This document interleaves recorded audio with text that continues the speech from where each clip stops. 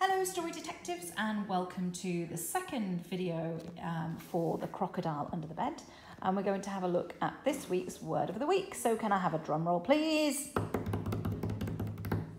The word of the week is special. So let's have a look where it appears in the story. It's actually, I think they say it a few times, but the main one I'm looking at here, it says, he was too sick to go to the party and it was a very special party. So what does special mean? Let's see if we can look it up in the dictionary. And as you know, to look something up in the dictionary, we need to look at it in alphabetical order. So let's go through the alphabet until we get to the letter S for special. A, B, C, D, E, F, G, H, I, J, K, L, M, N, O, P, Q, R, S. I'm on the pages of S and then I need to find SP because that's the next letter. We have SP, SP, and SPE. Oh, and I found it there. It says special. It's an adjective. You can see that there. Um, and it says better than or different from what is usual. So let's keep that as the main focus of our definition. So it's an adjective, and I've summarised that for you here so we can put it onto our worksheet.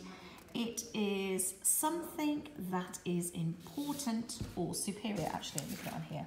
Sorry, wrong one there.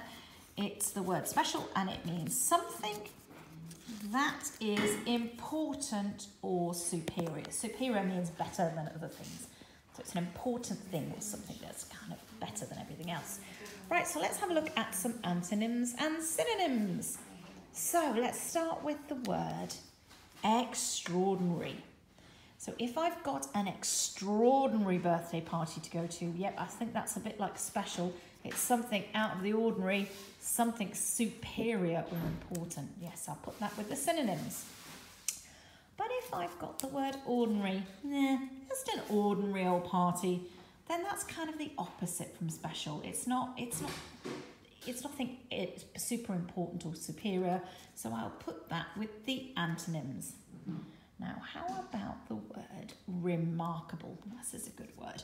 If something is remarkable, it really stands out. So it means it's something that is really important. So yes, I think it is a synonym and I will put it with the synonyms because it means the same kind of thing as special. But what about the word unimportant? Now look at this. We've got the word important here. If the word special means important, then unimportant is the opposite. So let's put that with the antonyms. That's definitely the opposite of special if something is unimportant. And here is a word, marvellous. I think that's obvious, isn't it? That's something is marvellous. It's definitely similar to special if you're going to a marvellous party or you're having a marvellous birthday cake. Yep, that's the same kind of meaning. So I'll put that there with the synonyms. And finally, I have the word common. Common, it's just sort of ordinary. You find it all over the place. You might say, oh, it's just a common bird that you see all the time. It's not special.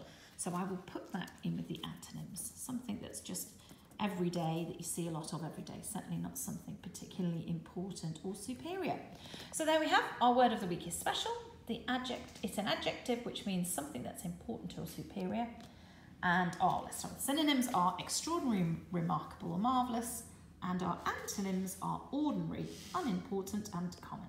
Okay, I'll be back with the next video in a second to explain the worksheets. Thank you.